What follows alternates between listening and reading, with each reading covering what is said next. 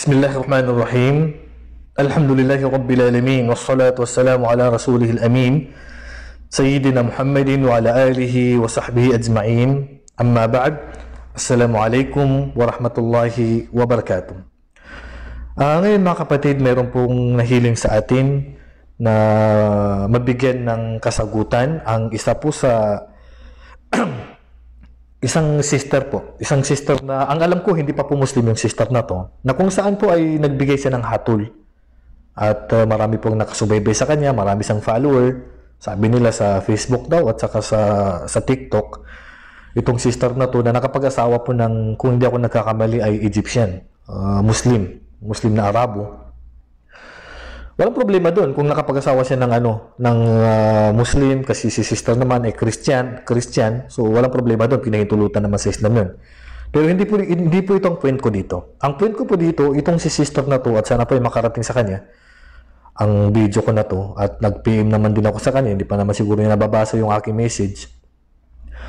Nagbigay siya ng hatol at uh, nakakatakot po na itong si sister ay uh, parang Muslim, parang Muslim ah, kasi nakahijab, nakatakip siya ng ulo.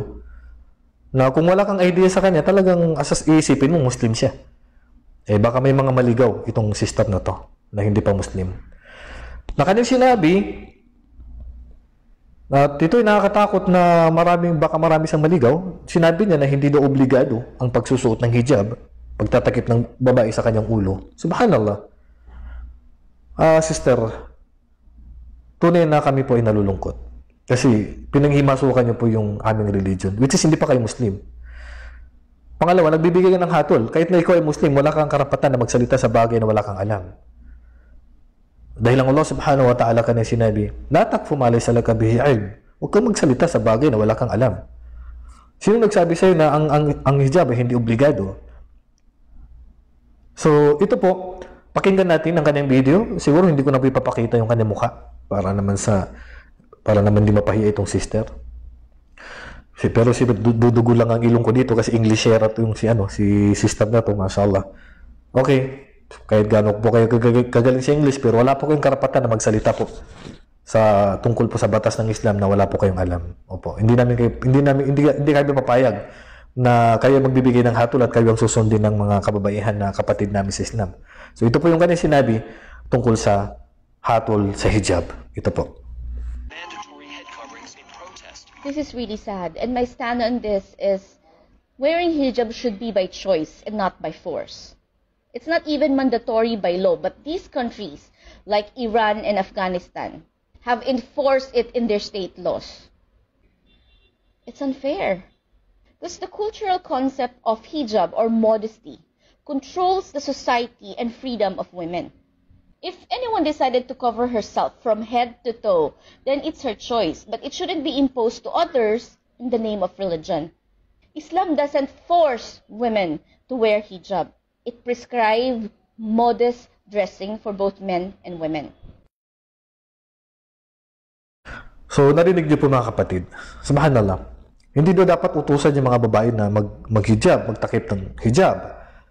Noon pa yan, sister, kung makikita niyo po ang larawan ni Birheng Maria, naka-hijab na eh. Kasi noon pa po yan, talagang kaugalian na po ng mga kababaihan yan. Nung dumating po ang Islam, nung ipadala nga po si Propeta Muhammad sallallahu alaihi wasallam, dito talagang mabigat na po na ipinag-utos no. Upang mapangalagaan po yung mga kababaihan mula sa mga kahalayan, mula sa kabastusan. Ganun ang pangangalaga ng Islam sa mga kapatid na kababaihan. At huwag niyo pong sabihin na hindi po ito obligado at uh, kung sino-sino lang po ang nag-utos niyan. Ang nag-utos po nito, sister, hindi po kami.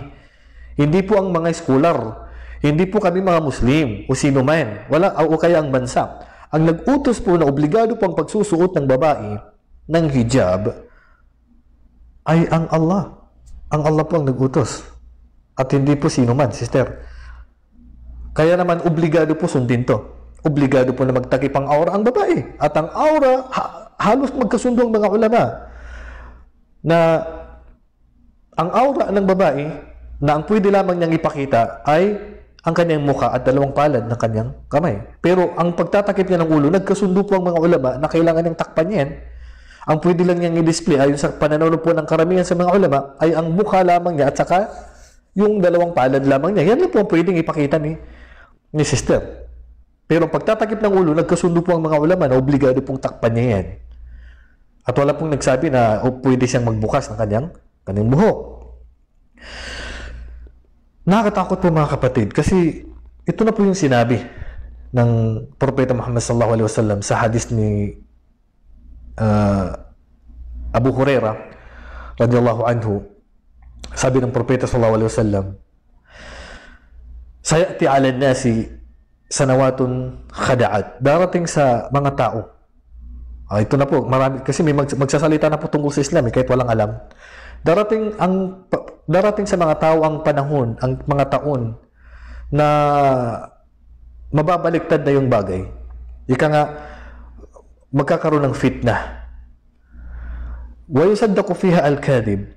Ang sinungaling, yan na po yung paniniwalaan. Kumbaga yung sinungaling, siya na po yung sasabihin ng mga tao na nagsasabi ng totoo. Yukadabu fiha as-sadiq. Yung namang nagsasabi ng totoo, sila na po yung sasabihin ng mga tao na sinungaling. Yung pong nagsasabi ng katotohanan, siya po yung lalabas na sinungaling. Yu'tamanu fiha al-khain. At yung hindi po mapagkakatiwalaan, sila na po yung pagkakatiwalaan ng mga tao. Yukhawwanu fiha al-amin.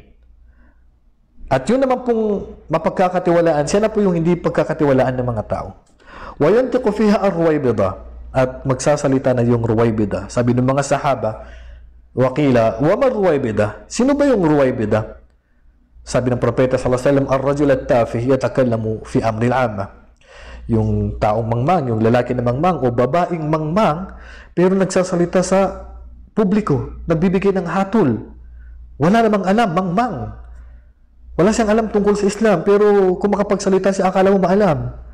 So, darating ang panahon na yan at nakakatakot po kay sister na tatamaan siya ng hadith na to. Nagsasalita siya sa, sa publiko tungkol sa Islam na hindi naman siya Muslim, tapos wala siyang alam sa Islam. Sister, ang hijab po ay hindi po utos ng bansa, hindi po utos ng Afghanistan, hindi po utos ng Iran, hindi po utos ng Saudi Arabia, utos ng Allah. Utos po ng Allah yan. Sa Quran, sabi ng Allah subhanahu wa ta'ala, وَإِذَا سَأَلْتُمُهُنَّ مَتَاعًا فَاسْأَلُهُنَّ مِنْ وَرَائِ حِجَابٍ Pagka yung mga babae daw, tatanungin sila, Huwag silang direktang tanungin na makikita ang kanilang mukha. Kailangan tanungin daw sila, kapag may hihilingin, may tanong sa kanila, may hihilingin, hihingin ka, dapat daw sa likuran ng harang. So yan eh, utos ng Allah. Upang maging dali, mas dali sa ito sa dali kum at harul kulubi kum kulubihin. Mas dali sa ito sa puso natin at puso ng mga kababaihan para malayo sa fitna. At sabi pa ng Allah sa ibang ibang aya, wala yubdina zinatahunna at wag daw ihayag ng mga kababaihan ang kanilang palamuti. Ang kanilang palamuti, ang kanilang mukha, o ang, ang kanilang ulo, ha? ang kanilang uh, ang kanilang uh, braso, ang kanilang liig, maliban sa kanilang mga asawa lang. Ila libuulatihin na. Maliban sa kanilang asawa, o abaihin na, o kanilang tatay, ang kanilang lulo, o abai buulatihin na, o ang kanilang ang tatay ang tatay o tatay ng kanilang tatay o lulo ng kanilang uh, lulo ng kanilang asawa o tatay ng kanilang asawa. Doon mo lang pwedeng i-display ang buhok mo. Pero sa publiko, para sa mga lalaki na hindi mo naman mahram, hindi mo naman asawa yan, hindi mo naman, hindi mo naman malapit na kamag-anak yan na pwede ka naman yung pakasalan, bawal mong i-display ang buhok mo, sister. So, hindi, hindi ito utos na galing sa sino man o bansa. At kailangan pong iutos to sa mga kababaihan kasi obligado po magtangip ang babae sa sala niya. Obligado siya magtakip ng katawan niya paglabas. At pati sa pagkamatay po niya, sister, obligadong takpan din po siya. Pati sa pagkamatay na po niya, inutos din po na takpan yung kanyang ulo, yung buhok niya. At ito pang sabi ng Allah subhanahu wa ta'ala, Ya ayuhan nabi, o ikaw propeta Muhammad sallallahu alaihi wasallam, kulli azwajika, sabihin mo sa mga asawa mo mga kababaihan, wa banatika at sa mga anak mong kababaihan, wa nisa'il mu'minin at sa mga kababaihang mga mananampalataya, lahat ng babae, sina, sinabi ng Allah, Ya Muhammad, sabihin mo sa kanila, Yudnina alayhin na min jalabibihin. Magtakip sila, ibaba nilang takip ng katawan nila. Mula ulo hanggang baba. Min jalabibihin na dalika adna ay yu'rafna fala yu'dain. Dahil itong pinakamainam para sa kanila upang sila ay makilala na sila ay mananampalataya, na sila ay muslima, upang hindi sila bastusin. Kaya sana po sister, huwag naman kayo magsalita sa bagay na wala kayong ano, alam. At kung kung gusto mo, kung ayaw mo mag-hijab, hindi ka namin ma, ma, mapagbawalan kasi hindi po kayo Muslim eh. Kung ayaw niyo mag-hijab, huwag niyo i-encourage yung mga kapatid namin mga kababaihan na huwag mag-hijab kasi hindi kayo Muslim. Walang problema kung hindi ka mag-hijab kasi hindi ka naman Muslim eh. Mas magaan-gaan pa yung hindi mo pag-hijab na kasalanan kaysa pananatili mo sana sa hindi pa Islam. Pero sana, huwag po naman encourage yung mga kababaihan at sasabihin nyo, porkit nakapag-asawa po kayo ng ano, ng ah, Muslim, ay may karapatan ka na magsalita tungkol sa Islam at magbibigay ng hatol. Wala po, wala po kayong karapatan, sister. Kung gusto niyo pong magsalita tungkol sa Islam, siguraduhin niyo po na may mga katibayan kayo. Opo. At mas mainam po na mag-Muslim po muna kayo at magdagdag ng kaalaman para sa ganun ay pwede na kayo magsalita tungkol sa Islam sa bagay na alam niyo lang at napag-aralan niyo. Opo, pero kung magbibigay ka ng hatol at ililigaw niyo po yung mga sisters, hindi po kami papayag. At ganun pa man, dua namin sa Allah, nagabayan ka pa rin ng Allah.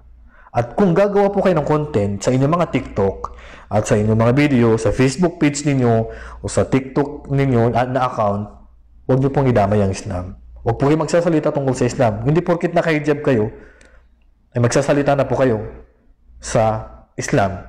Kasi hindi kami papayag na ililigo niyo po yung mga kapatid namin sa Islam. Ganun pa man, panalangin namin at duwa namin sa Allah na huwag tanggapin niyo po ang Islam. Katulad ng sinasabi mo na panood ko, wala namang sapilitan talaga sa Islam. O walang sapilitan, pero wala kang karapatan na magbigay ng hatol sa Islam sa bagay na wala kang alam. Kami nga na mga nakapag-aral, eh, hindi, kaya, hindi kami basta-basta nagbibigay ng hatol eh. Maliban nabasa muna namin at pinag-aralan muna namin. Tapos ikaw, wala kang, hindi ka nga nakapag-aral eh. Tapos hindi ko alam kung saan mo kinuha yung sinasabi mo na yun eh, hindi obligado. Ito ay choice lamang ng mga kababaihan. Subhanallah. Kung ililigaw niyo po yung sarili niyo, huwag niyo na pong idamay ang iba. Okay po? So, sana po ay ah, makarating po sa inyong video na to. So, pasensya na po sister kasi hindi po namin papayagan yung ginagawa ninyo na yan. At inuulit po, inuulit ko po, huwag kayong gagawa ng content ng tungkol sa Islam, magbibigay ka ng hatol kasi hindi namin papayag, hindi kami papayag na kayo ang magiging harang po sa ah, pagbibigay po ng li- linaw sa mga kaugnay, kaugnay sa aral ng Islam pagkatapos kayo naman ay uh, ililigo nyo naman po yung mga kapatid namin. Hindi, hindi po pwede yun. Okay na po, nakapag-asawa kayo ng Muslim na lalaki. Alhamdulillah, uh, lawi gabayan ka ng Allah. Pero ang payo ko sa inyo, mag-aral, mag-aral po kayo para malaman nyo po ang katotohanan at matanggap nyo po ang Islam. Okay? So hanggang dito na lamang. Wallahu a'lam. Wa sallallahu ala nabiyina Muhammad wa ala alihi wa sahbihi ajma'in. Assalamu alaikum wa rahmatullahi wa barakatuh.